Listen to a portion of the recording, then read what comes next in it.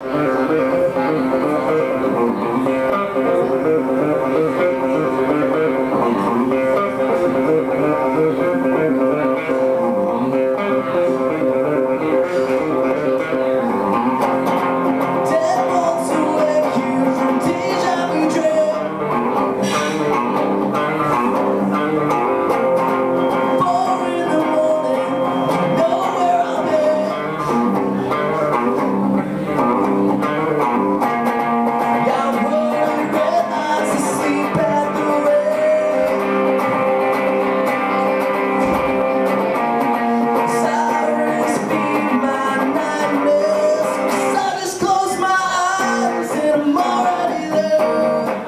and mix it bad